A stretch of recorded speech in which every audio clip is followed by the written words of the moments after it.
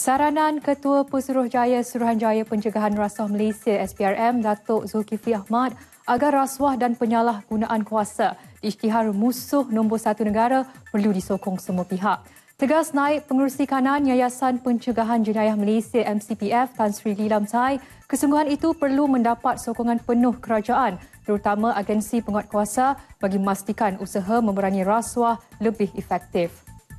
Keyakinan masyarakat terhadap kerajaan dapat ditingkatkan jika kaki tangan awam bebas amalan rasuah. Pelbagai tangkapan oleh SPRM jelas menunjukkan rasuah dalam perkhidmatan awam pada tahap serius dan memerlukan tindakan tegas agensi penguatkuasa. Namun wujud juga gejala berkenaan dalam sektor swasta. Jelas Tan Sri Lee, SPRM harus diberi kebebasan bertindak tanpa mempunyai sebarang kepentingan serta bebas daripada gangguan mana-mana pihak. Undang-undang berkaitan rasuah juga perlu dikaji semula agar SPRM dapat diberi kuasa untuk bertindak dengan lebih berkesan.